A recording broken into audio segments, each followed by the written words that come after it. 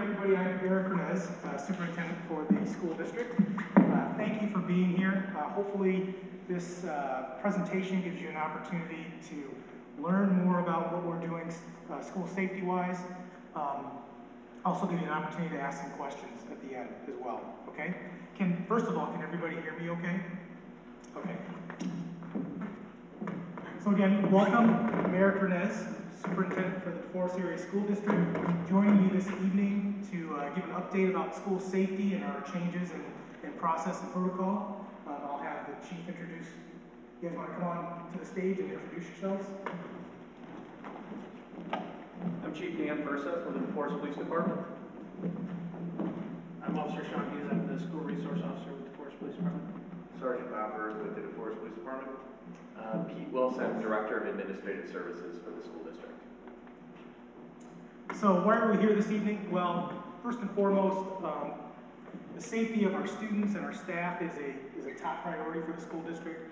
Um, we're always considering, uh, ways to improve our safety protocol, uh, whether we're talking about how we should maybe do fire drills or tornado drills, um, or how to deal with, uh, the potential for an active threat. We're, we're always annually having conversations about what, what do we need to do to ensure safety of our students and staff. Um, ton- Tonight, we're specifically talking about active threats as it, uh, when we talk about school safety. Um, When we talk about active threats, uh, it's really, unfortunately, that's the reality in our world today. Um, There are acts of violence that occur, uh, not just in school, but, you know, as you watch the news over the last several decades, we have unfortunately acts of violence occur at the mall, at movie theaters, at churches. Um, so, as a safety committee that involves law enforcement, fire, EMS, and school administration and staff, you know, we want to make sure that we are um, aware of how to not only react to active threat situations, but also how can how might we be able to be proactive and, and preventive. So we are moving to change our protocol. Many of you are probably familiar with terms like hold, lock, secure, lockdown, things like that. Um, we're changing our, our response. And part of the reason we're changing our response to specifically active threats um, is because when you look at the response time for law enforcement to, to come to a, a, an act of violence at a school, um, we're very fortunate to have a local PD that can be here within minutes, but for those of you who've ever been in the middle of a crisis, whatever it might be, minutes, seconds can feel like an eternity. So what we've decided is that we needed to evolve our response and that really school staff, and in some cases students, we have to be the first responders. What we've taught all the uh, staff at all the schools, which is actually unprecedented when we went through it for the uh, school in service earlier this year for staff uh, at all schools in the district. And that was all staff, all teachers, administrators, right down to the, the lunch ladies on what we can do to try and make everybody on the same page when it comes to school safety. What we taught them basically was the, we'll get into the, the nuts and bolts of uh, this option-based philosophy, but run, fight, hide, whatever you want to call it, but giving them options. And but we taught them that this isn't just for schools. This is for every day. When you're at the mall, when you are uh, at church, you could be in a group of people. Just letting people understand that they have some different options other than becoming a victim. And a lot of these things that uh, we taught them, they felt empowered. The feedback we got after the uh, the presentation or the training that we gave, uh, how many? 300 plus people? 400 staff members of the school district was, I've never felt so empowered in my life because now I know that I can, I can, I feel that I have options, I feel empowered, I feel safer. And that was great to get that feedback from people.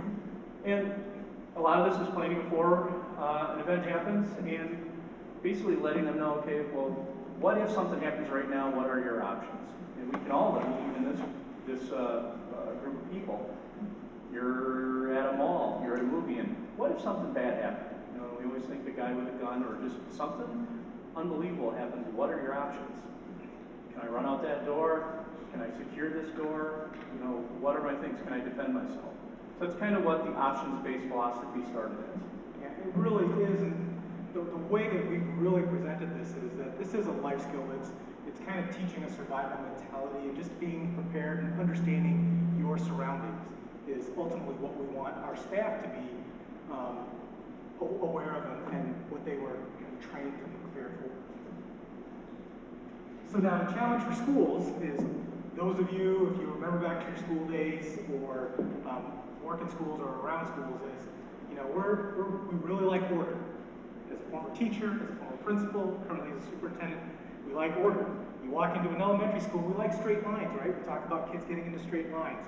Um, we want to know directions to a project. What's the first step, second step?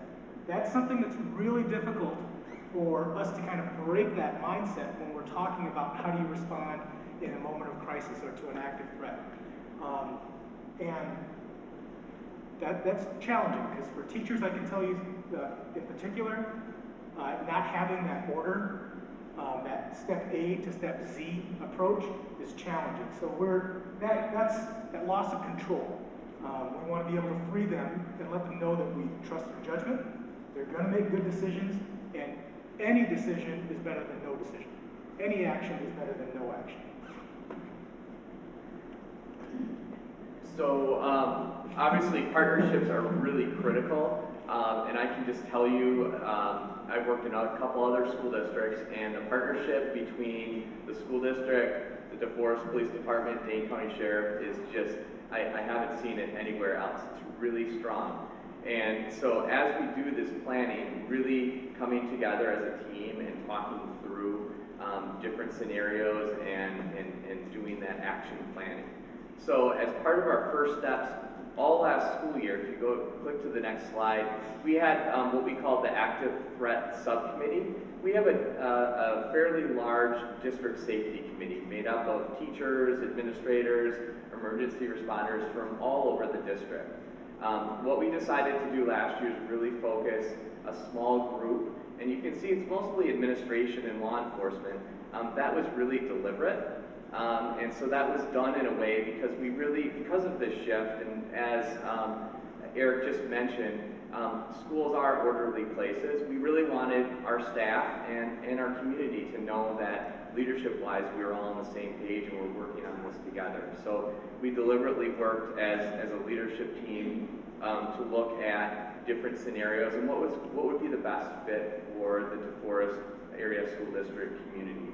Um, just so you guys know, I mean, you may or may not know, um, Windsor Elementary and Morrisonville Elementary are outside of the DeForest um, Police Department jurisdiction, so that's where Dane County comes into play.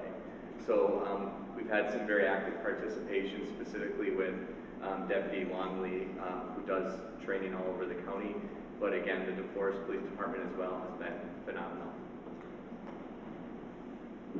So, as I said, school safety has always been a priority, right? We review, we um, consider school safety when we look at construction.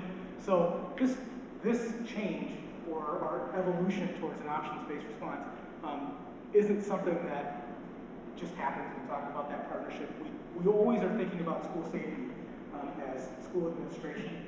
Um, even when you look at our new construction, uh, we think about safety and security of our students and staff in our new buildings. Uh, both Windsor and Eagle Point were in the kind of design phase. Were designed so that we can close off sections of the building. That was intentional. Um, we designed, you know, we redesigned Yahara's entrance so that you would have to funnel visitors and guests and anybody entering the building towards the office. Um, so we're always kind of thinking about ways that we can consider and improve uh, school safety process and even within our facilities. We are going to be entering into uh, a new facility study. Uh, part of that's driven because of our continued growth. Uh, you know, as we get more kids into, into our system, particularly at the elementary level, they're going to be middle school and high schoolers, so we need to start planning ahead. How do we accommodate that um, enrollment growth? Uh, but school safety is always going to be part of those conversations, whether we're talking about how do you design your building so that there's appropriate sheltering, um, enough exits for fire drills or for fires, and for instances where we need to be able to evacuate or make some judgments about um, an active threat. So as uh, Superintendent Runez and uh, Chief Fritz have have already covered, you know, the skills and the option-based stuff that we taught staff is not only applicable to school, uh, it's applicable to everyday life. Unfortunately, in law enforcement and some of the ways that we do things, we learn from past events, okay? Um, And we create these paradigm shifts. And active threats at education facilities date back uh, generations. They, they've been going on for almost ever as people have been um, putting in mass areas. So it's just with advancement, technology, people start to learn about it, they take focus on it, and say, how can we change it to reduce casualties? we have to understand is, we're talking about one of the greatest um, uh, domestic terroristic threats that our country sees when something is enacted in a, in a school um, mass casualty or a mass casualty anywhere uh, for that instance. Uh, Columbine was one of the biggest shifts that we saw in how law enforcement responds to a critical incident, uh, critical incident such as an active shooter or active threat at a school. Uh, prior to Columbine, law enforcement would respond. The patrol uh, officers would set up a perimeter. They would radio what they saw. They would wait for um, the special weapons and tactic teams or SWAT teams or uh, TRT teams show up, and they would make their entry. Unfortunately, um, active incidences are usually over, uh, through history has taught us, 16 minutes or less. Um, the average response time for uh, a SWAT team is about an hour and a half. An hour in our area if everybody's together in training. So law enforcement said, we gotta do something different. Well, that created this shift where now patrol officers were empowered to enter in smaller teams to confront uh, an adversary to save lives. Basically, the concept of the theory was the faster we can get uh, our actions on contact, the more lives we can save. Okay? This is not your traditional police response, just like it's not the traditional response for your children's teachers on how they're going to act. We still have our traditional everyday 99.9% of stuff that we're going to do, but it's at 0.1% where we need to prepare and have our staff empowered. So we had some things that we decided to do uh, nationally. We put it in place uh, post Columbine, and then the uh, the Sandy Hook tragedy hit. Now this was one of the largest domestic terrorist threats that we saw since 9/11. Okay, the largest we've seen in any type of educational institution, and they follow the the old adage uh, of the hold, lock, and secure. Uh, that's where the, the bulk of the casualties came from. So we s- uh, stood back, uh, education professionals and law enforcement professionals, and said, we gotta do something different, okay? We need to change this, so we can reduce, reduce the amount of casualties that occur in these dynamic situations.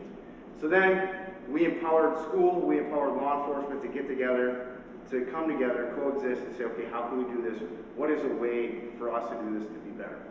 Now, this continues to go, okay, this continues to happen, uh, happen, continues to evolve. Um, if you watch, if you listen to any part of the news from Friday till today, uh, you know, we've become a little numb to it. They just had an incident in Reedsburg uh, where they, uh, there was reported, um, that a student was talking about enacting in, uh, an active threat situation at one of the schools, and the student was arrested.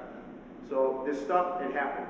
Uh, that's why we need to empower, uh, we felt we needed to empower the school staff and create a partnership and build the bridge between school staff and law enforcement so we could respond appropriately to, uh, to help your kids and, and keep your kids safe in the, while they're in school.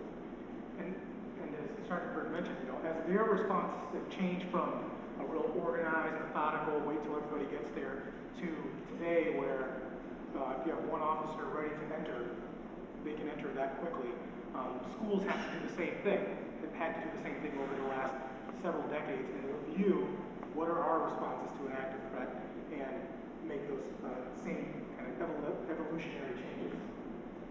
So we continue to evolve. Uh, a couple things that we're, we've done going into this new school year is we're kind of changing our mindset with our staff, uh, empowering them. Uh, we're focusing on prevention as well, trying to how can we be proactive. And then this final options-based response. You've heard us kind of talking about that. Um, we're fully implementing that. We've, we've had held a training before the school year with all staff. Um, and then over the next probably several weeks, our intent is to start informing our students about how this change um, has been implemented in, in our schools. So we talked about a, a changing mindset. Again, um, most of us have gone through some sort of K-12 education. Um, and, you know, the traditional approaches were described earlier where um, you go into a lockdown where you're really closing, closing and locking the doors and just kind of um, getting down and being quiet. And that, in some cases, may well still be accurate, but that's a very passive response. So um, really this shift in philosophy is moving from that passive response to the active response and, and really empowering staff based on the situation at hand to, in some cases, go into a lockdown, in some cases, do some other sort of technique to keep the students and themselves safe. So um, really talking about that. But again, the, the last bullet point to me is really important. This is a life skill, and unfortunately, there are events that take place outside of schools and malls, public areas too, that again, just being aware of your surroundings and being aware of, um, you know, Officer Hughes and, and others have, have talked about examples about um, when they go out to, to dinner with their wives about really checking the sce- scenario, making sure if something were to happen in the restaurant, how they can get out and how their wives initially were like, what's going on? And, um, but it's really, it's thinking in that way, not just in schools, but, but in other um, contexts as well. And and Um, I want to, I want to point out, we're not talking about like promoting fear. That's very different. It's not about you live in fear. It's about just being prepared, being aware of your surroundings and your situation, knowing what options you have in the event. And again, uh, generally speaking, when you look at statistically, even though it seems like there's been a lot of, of acts of violence over the last couple decades, schools are still the safest place to be. Schools are safe. All right, so trusting your instincts. So we have we have a picture of a, of a squirrel up here, and you guys know from driving around or walking around, you see you know squirrels are always looking around and things like that. We're not we're not expecting staff and, and students to be all twitchy and things like that, but just being being really aware of what's going on, looking for things that might not seem normal or things that may seem out of place, and just being aware of that. Um, we based some of this on some different research. Um, the Gift of Fear was is, is a fairly well-known book by Gavin de Becker, and I'm just curious. I've asked every every staff group, has anyone ever been struck by lightning. We had three people in the district who've been struck by lightning. But um, you may have heard, supposedly, and I don't know if this is true or not, but your body, like every hair on your body is supposed to stand up the minute before you get struck by lightning. We had two of the three confirm that, that that is what happened. But it's this physiological response to fear, and that's what de Becker talks about in his book, is um, just being aware, and sometimes even your body triggers something's not right, something's, you know, and we're encouraging staff or students to, to respond if, if they're, if they're feeling in that way and let someone know. Um, another example is, again, first impressions of a situation should be taken into account. Um, Malcolm Gladwell wrote, wrote Blink, which is a really one of one of his points talks about what's called thin slicing, or that initial, that first impression. Not always, but many times has a, has a significant amount of truth to it. So really talking to staff and kids about if something seems out of place, saying something to someone about it. Um, and then the key is prevention. We have um, lots of different safety procedures that haven't changed. Um, we have secure entrances in and out of schools. Um, we talk to staff and review with staff on um, a, a, very regular basis, talking about um, you know building doors, making sure that visitors are checking in and out, um, and getting visitor badges. So just making sure that we're as staff making sure we're following normal um, district safety protocols and procedures. And then the second point here is technology. Um, especially with social media being so out and about nowadays, is many times the different you know events that have happened in the past. There's been some sort of hint, whether it's on social media or whether someone emails something, um, and so we're again encouraging staff. If you if you see something out there, if students see something out there, they report it, and then many times that has that has prevented potential dangerous or, or worse situations. So as uh, Dr. Wilson shared, you know, what we, we also want to be proactive, right? I mean, we are making a conscious um, approach to being proactive. Uh, these signs here, see something, say something. That's something that you'll find throughout all of our schools. Um, I can, I know I'm speaking for chief and I'm, I can speak for the school board and administration here. We would much rather follow up and investigate, um, a concern by a parent or a student find out it was nothing or a complete misunderstanding than for someone to be kind of like, I don't know if I should just mention that or not. It's okay. We really do want to encourage, um, encourage that. We, you know, that really our safety, school, student, safety of students, um, is, is really dependent on everyone being part of it. Um, you know, actually, if you travel now, just see something, say something, that's a homeland security model. There, doesn't matter where you go, and where there's large congregations of people, they really do uh, encourage that. Um, in fact, I, I was in uh, Las Vegas last April, and you know they have all those giant digital signs in front of hotels. Which one it was, maybe the, I can't remember which one it was. Flash, see something, say something. I mean, so that's that's a very common thing, and we really here within the district want to adopt that and empower people. When something in your gut says that you've seen that seems wrong, it's okay to let us know. Said, we would happily investigate it and find out it was just a misunderstanding. So why are we moving to an options-based approach? Uh, primarily, what we've seen is uh, over the last several decades is as police have changed their response, schools have to change their response.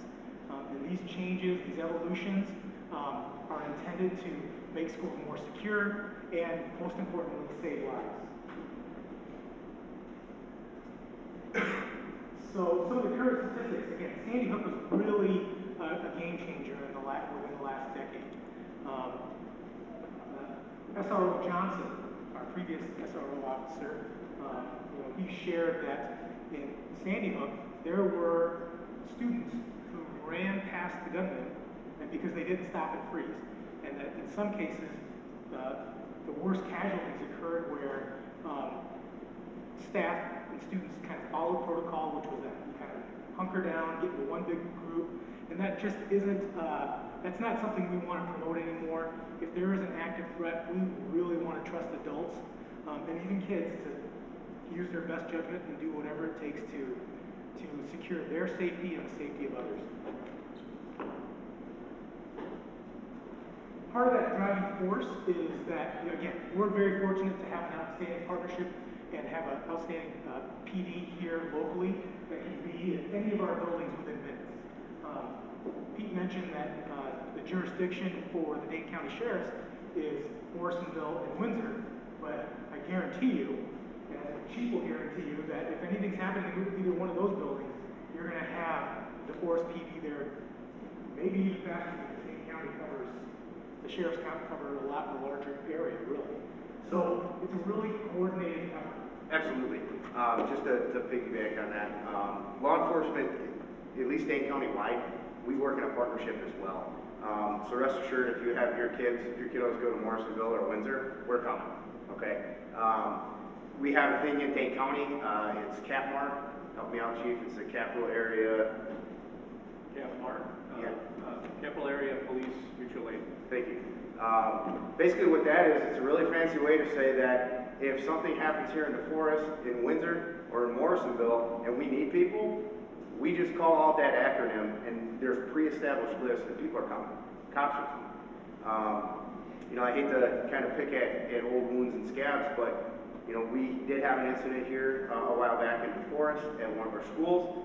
Um, I think, uh, within five minutes, we had close to 40, 50 officers here, in five minutes or less. Would argue within about the first minute, we had 15 to 20, and about 15 min- minutes into it, we had close to 75 officers here uh, throughout Dane County. I mean, from Madison, Waunakee, Sun Prairie was on the way, State Patrol, uh, our, our agency, um, and, and, and a bunch of other agencies. So we are taking precautions too, again, because we had this paradigm shift in law enforcement. Uh, we have our partnerships and we're unified, uh, now in a three-tier with the school district, bringing it to a four-tier with you now as parents being on board with what's going on. But even as quickly as law enforcement and our first responders can get to a building, um, it's still several minutes. And which is why we, school staff and our schools have to react and be responders and be prepared to, that last our job is to buy time and to, uh, secure safety as much as possible. So, we're moving to an options-based response. Um, we're going to very simple language. Uh, what you're, what kids in the protocol now in schools, in our schools, is we're gonna call a hold and secure, or in situations of, of actual active threats, it's options-based. With hold and secure, to be honest with you, um, those will be called for a variety of different reasons. Uh, it might be we get a call from law enforcement saying there's, uh, there's a domestic issue occurring a couple blocks away. Why don't you keep any incoming and outgoing traffic out of, the school? So we just, you know, call hold and secure. We might call a hold and secure because there's a medical emergency. Um, you know, a student faints or there's a, an injury and we want to keep the hallways clear so that way when the EMS arrives, they can quickly get, um, you know, to wherever that medical emergency is. Uh, we might call it because there's a, a child in crisis or um, a, a loose dog walks into the building. There's lots of very valid kind of, I don't want to call them everyday, but more um, normal reasons why we will call a hold and secure. Okay? And the reason we're doing that is because there, when we want to hold and secure, we really do want to secure the building. Um, everyone has to be in their classroom, but they continue class as normal. We're just, we're just eliminating traffic in the hallways and really monitoring or eliminating, quite honestly, traffic going in and out of the building. Um, we might have a medical emergency that is in one section of the building, and we might just say that's the only place that's a hold and secure at this time. Um, again, that is so we can kind of maintain control and the orderliness of the school. In the event of, uh, of an actual active threat, there's not going to be a code call. There's not. We're not going to yell any, anything, um, any specific language. It is what we've instructed staff is they're picking up the, PA system and they're sharing as much detail as possible.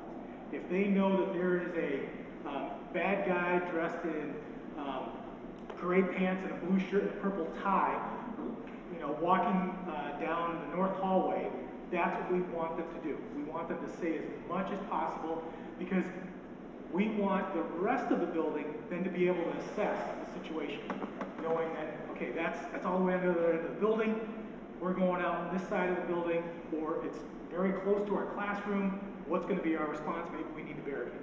So, that's, that's going to be the change, and that's, that's a pretty significant shift. You know, this year, I'm sure we're, we're gonna probably call a and secure in every single building sometime this year. You know, unfortunately, we'll have, uh, you know, a, a student faint or, um, something happen where, uh, we'll have to just want to secure the building. That, that will be pretty common occurrence. So that is not something to really elevate everyone's anxiety about, it's just, we wanna be able to secure hallways and entrances uh, but conduct our days normal.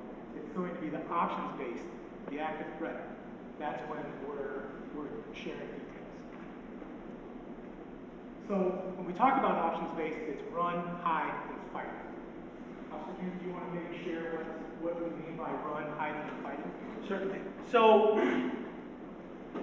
when we're talking about running, all of these things that we're teaching to the staff and the students basically follow human beings' natural instincts in a crisis situation to uh, fight or flight or freeze, right? So running, off running, we're basing it off of a natural instinct to flee the area. Um, what we're, what we're requiring or asking of the staff at this point is to make that decision. If the active threat is called out, if we're here in the PAC and it's called out on the other side of the building, we have the opportunity to leave the building. So the teachers or the staff members that are with the students are going to say, we're going to leave through these two doors, let's go.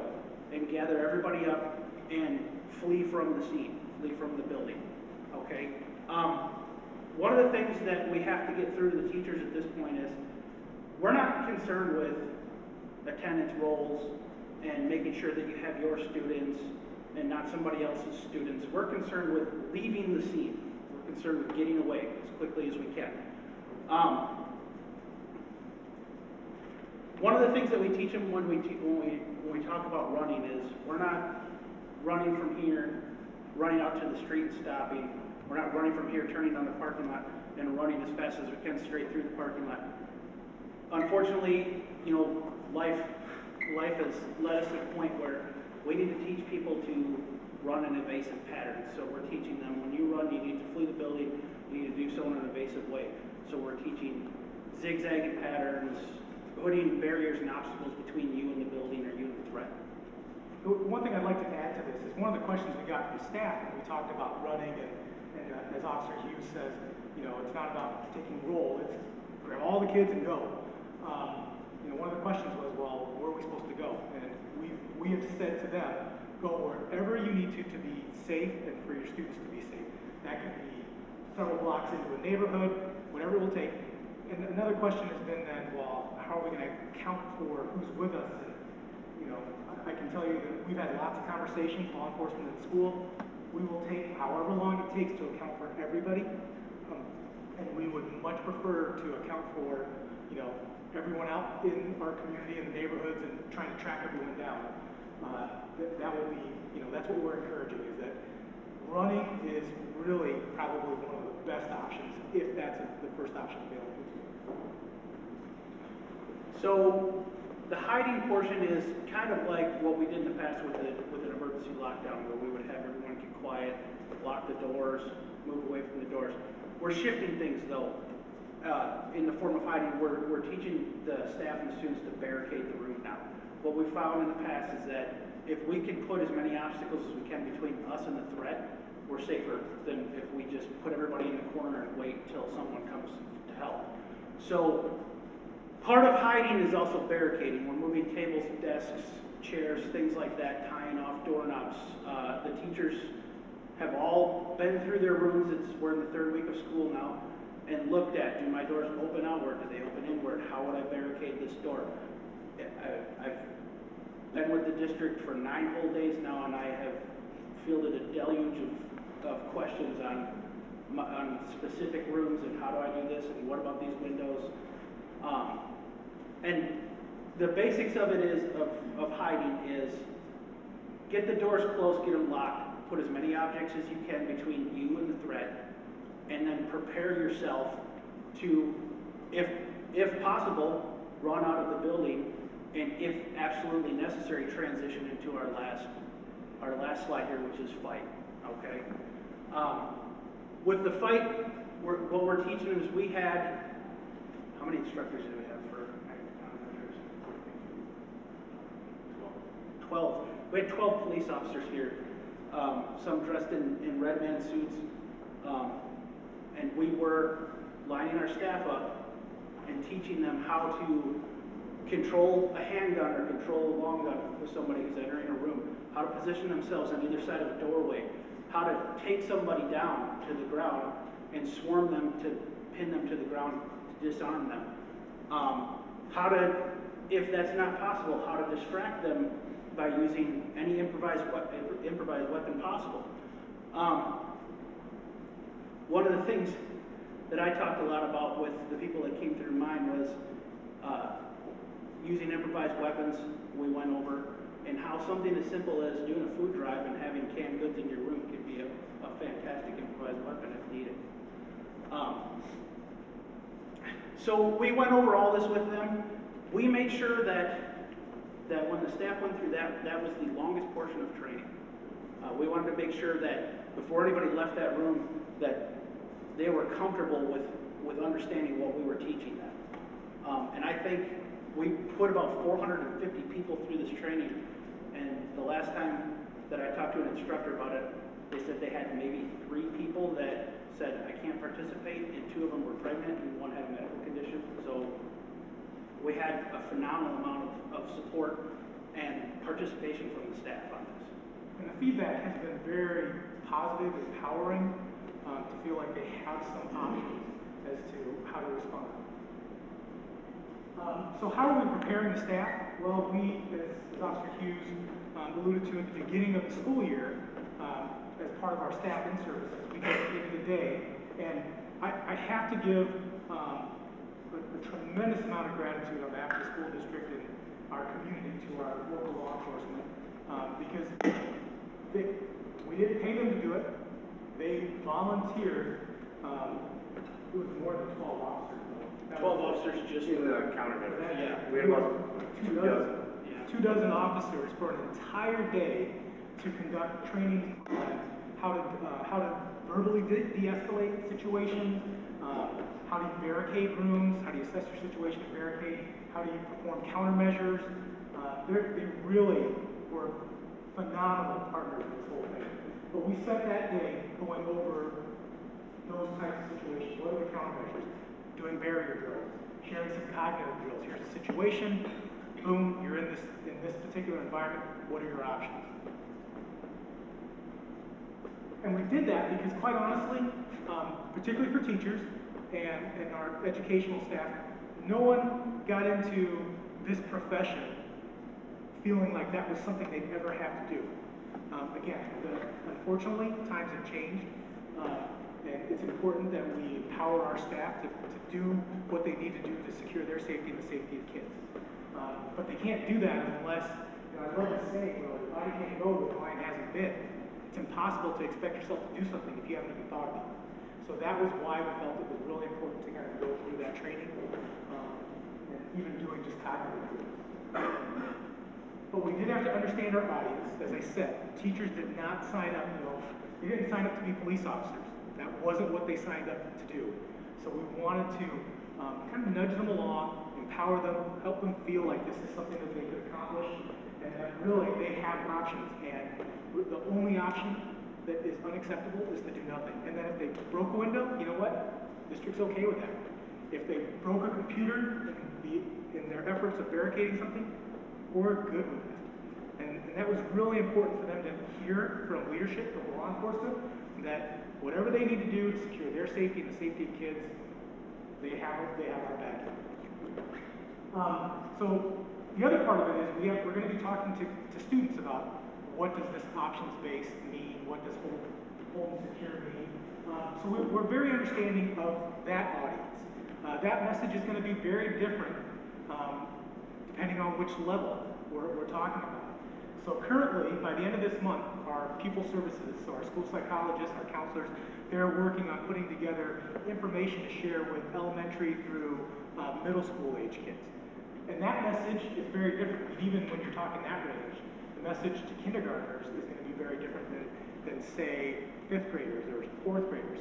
Um, it's going to be very different compared to an eighth grader or a high schooler, right? Because what their um, role in the response is going to, it's going to be different.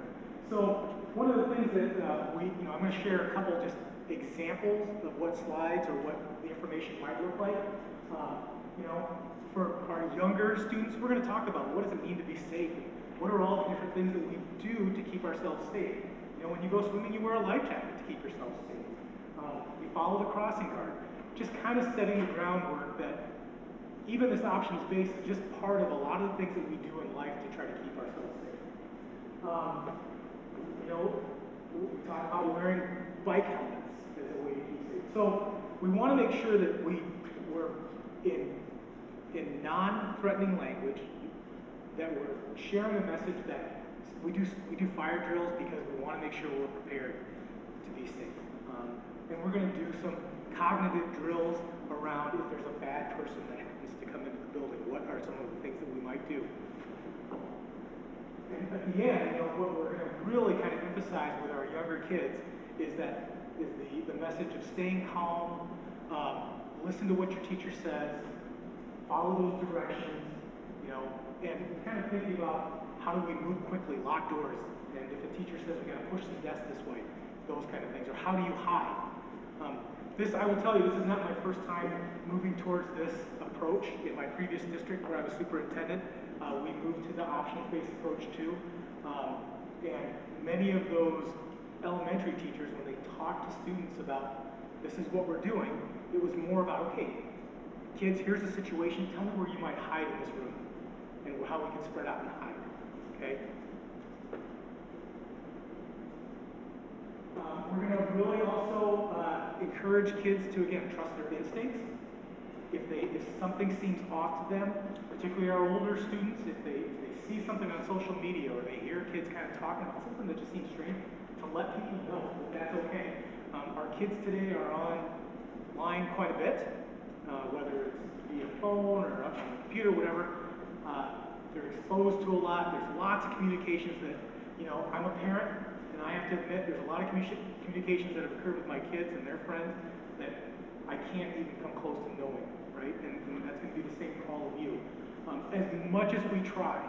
So what we want to do though is we want to make sure that kids uh, feel secure and safe to be able to share things that they find um, that you know disturbing or troubling to they're sharing it either with you and you're then relaying that message, or their teacher, or their principal, uh, or even law enforcement, whoever it might be, so that we can uh, we can address those issues.